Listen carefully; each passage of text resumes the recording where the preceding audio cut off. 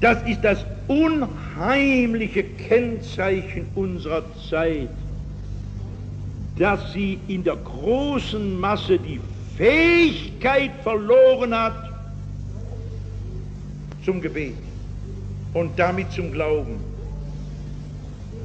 Es gibt einen berühmten Schriftsteller, der ist in Wien gestorben, Franz Werfel. Er hat einen Roman geschrieben, Der veruntreute Himmel. Und da sagt er einen Satz, der mir nachgeht, solange ich unter Menschen lebe. Das Kennzeichen der modernen Zeit ist die metaphysische Verdummung des Menschen. Metaphysisch heißt also die ewigen Dinge, die in einer anderen Dimension sind, wissen Sie, die auch wirklich sind. Die metaphysische Verdummung, dass der Mensch so lange verdummt worden ist durch Fernsehen, Radio, Geschwätz, Propaganda, Ideologien, Politik, Nachbarn, Terror in Fabriken, so lange verdummt worden ist, bis er gar nicht mehr die Fähigkeit hat, damit zu rechnen, dass Gott da ist und gar nicht mehr beten kann. Kann man mit Gott reden? Man könnte, wenn man nicht verdummt worden wäre durch 100 Jahre deutscher Geistesgeschichte. Ich muss noch mal die Sache erzählen, die ich äh, gern Evangelisation erzählen, dass ein 16-jähriger Junge mir erzählte, wie er im Krieg noch eingezogen wurde. Und dann wird in der Batterie ein Bombenangriff gemacht. Und er kommt als Erster aus dem Bunker und findet einen Mann, dem der Leib aufgerissen ist. Und da will er ihm helfen. Da sagt der Kerl, ich muss sterben, da brauchst du nichts mehr zu helfen. Ich brauche bloß noch einen, der mit mir beten kann. Junge, bete mal. Da sagt der Junge, ich habe in der Hitlerjugend fluchen gelernt, aber nicht beten. Und da bin ich zum Wachtmeister gelaufen und sage, Wachtmeister, kommen Sie mal. Und da kniet der Wachtmeister bei dem Mann, dem der Leib aufgerissen ist, dass die Gedärme rauskommen. Was willst du, Kamerad? Wachtmeister, ich muss sterben, beten Sie mit mir. Himmel, sagte Wachtmeister, beten kann ich nicht.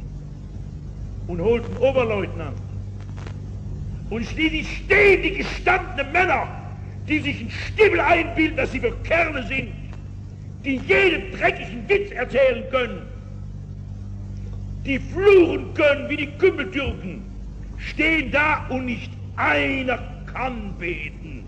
Nicht ein armseliges Vater unser kriegen sie raus. Der Junge hat mir gesagt, ich habe da gestanden und gesagt, wenn ich aus diesem dreckigen Krieg rauskomme, dann ist erste, dass ich wohin gehe, wo ich beten lernen kann. Ich möchte nicht so elend verrecken wie der Mann. Sehen Sie, das ist die Lage unserer Zeit. Ob ich bei Generaldirektoren bin oder bei Arbeitern. Der eine ist zu klug zum Beten und der andere steht unter Terror des Freidenkertums. Wir können es nicht mehr. Und das ist allerdings eine beachtliche Katastrophe was der gescheite Franz Werfel die metaphysische Verdummung nennt.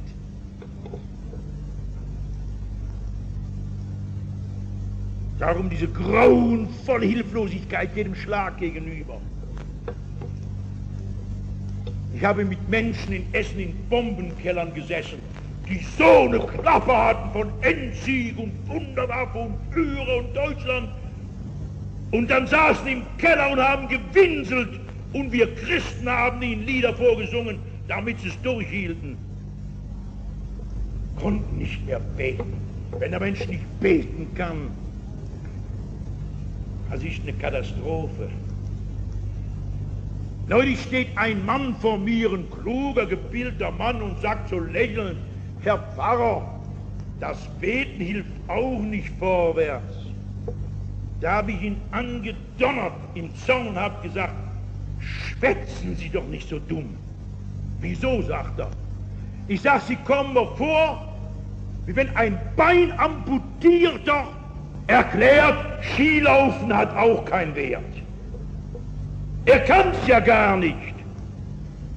Über Skilaufen kann man diskutieren, aber nicht mit Bein amputierten, nicht wahr? Und so sind wir.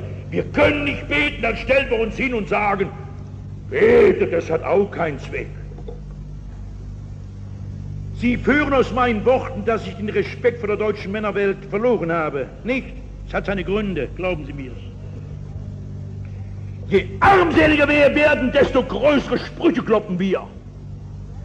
Wenn ich Sie dazu breche, dass Sie heute Abend nach Hause gehen und sagen, weiß Gott, das Geringste, was ein Christ kennen sollte, beten, das kann ich nicht. Und da packt mich allerdings nicht nur ein Zorn über die Verdummung, über die arme Verdummung unseres armen Volkes, sondern es packt mich eine große Wehmut. Sehen Sie, es rührt mich immer, mit welcher Selbstverständlichkeit die Kirche immer noch tut, als wenn die Leute beten könnten. Ist bei Ihnen auch so, an Weihnachten geht Leute in die Kirche, die sonst nie kommen. Ist das hier auch so? Ja. Und ich war an so einem Weihnachtsgottesdienst, alles überfüllt. Und dann sagt der Pfarrer, das rührt mich. Wir wollen beten. Und dann machen sie alle so. Da möchte ich reinschreien, tut doch nicht so. Keine 10% können ja beten. Markiert ja alle. Habe ich recht? Bei Trauungen, wir wollen beten, bei Beerdigungen, anschließend saufen, nicht? Und dann stehen sie mit ihren Zylinderhüten da und meinen, wenn sie in den Zylinderhut gucken, dann der gebetet. Sehen Sie, als ich Soldat war, schon vor 1915, da hatten wir einen Kirchgang befohlen. Und da hat der Feldwebel vorher Unterricht gegeben. Da sagte er, geht ganz still in die Bank rein. Wenn ihr der Bank seid, dann bleibt er stehen, nehmt einen Helm vor und zählt bis zwölf, langsam bis zwölf, dann hinsetzen. Und da saß das Publikum oben und sah die Soldaten. Und jeder dachte, wie fromm die beten. Die zählten bis zwölf, dann setzten sie sich hin. Bitte, selber so erlebt bei den 15 in Karlsruhe. Ich glaube, dass bei Trauungen, Beerdigungen, wenn es heißen wollen, beten die Leute bis zwölf zählen oder gar nicht mal das. Sehen Sie, es beschleicht mich eine Wehmut, wenn ich denke, dass man das mal konnte, sagen wir beten und dann konnten die Leute beten und haben nicht markiert.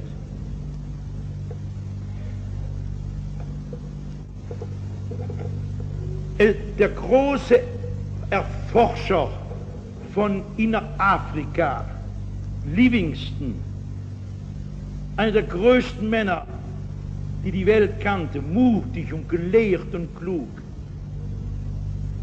ist auf folgende Weise in die Ewigkeit gegangen oder ein Weltmensch sagt gestorben. Da war er in Innerafrika nur mit seinen eingeborenen Trägern.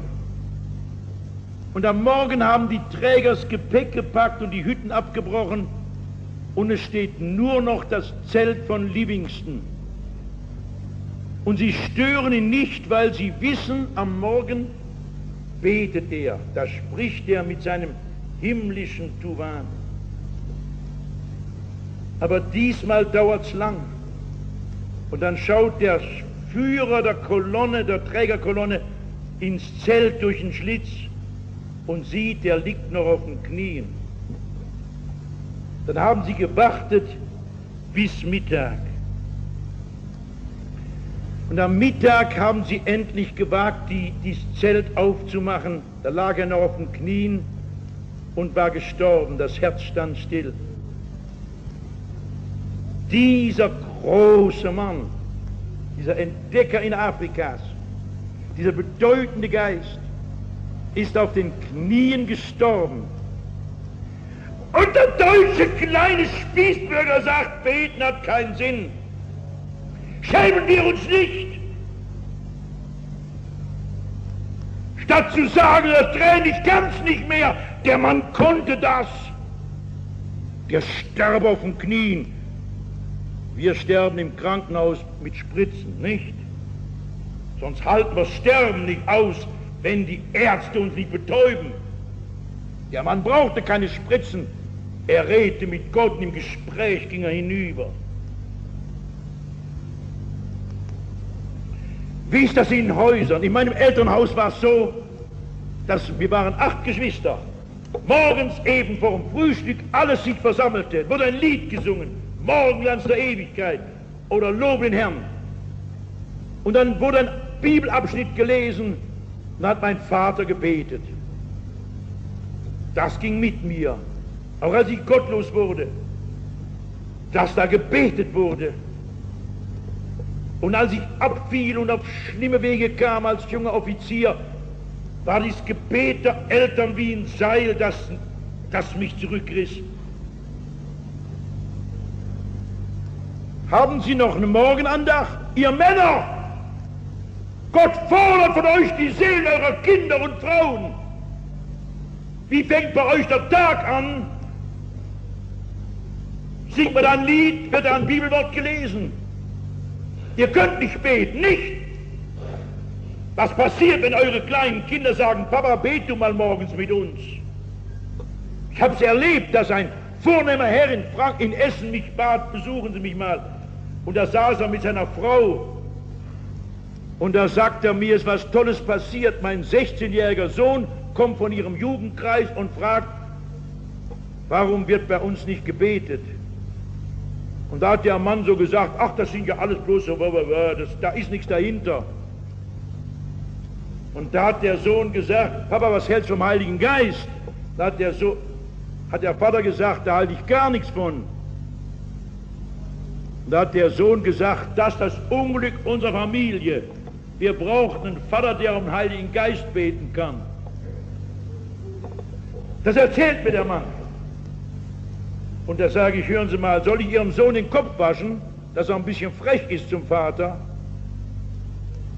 Und da sagt der Herr, nein, nein. Ich meine so, wenn der Junge recht hat, dann liege ich schief. Ich sage, Sie liegen schief, der Junge hat recht. Ja, sagt er, das fürchte ich, dass so ist. Was soll ich tun? Den, den Mann ging auf einmal auf, meine wichtigste Verantwortung als Hausvater habe ich verpasst. Es genügt nicht, dass ihre Kinder Schuhe und Strümpfe kaufen und Hemd und Essen geben.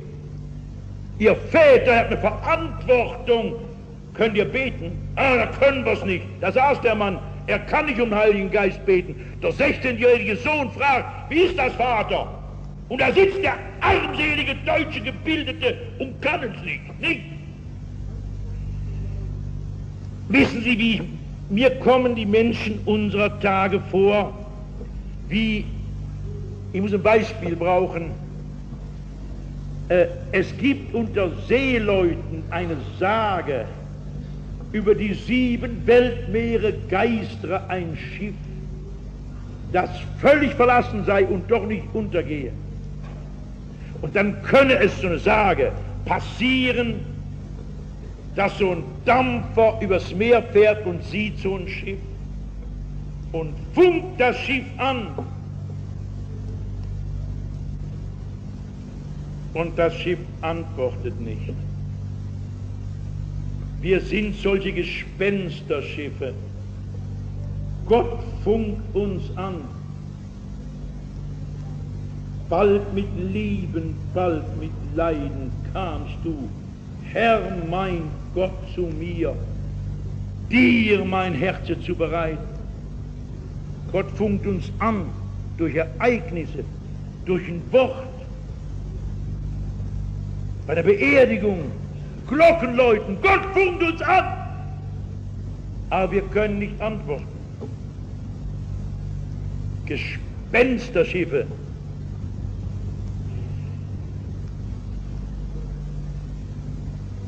Ich habe mal erlebt, als ich über diese Dinge sprach, dass ein kleines Kind nachher seine Mutter fragte, warum schimpft der Mann auf der Kanzel so? Ich hoffe, Sie verstehen, ich schimpfe nicht, sondern mir bricht manchmal das Herz vor Erbarmen, wohin man unser armes Volk, gebildet und Arbeiter, Männer und Frauen, alt und junge, gebracht hat.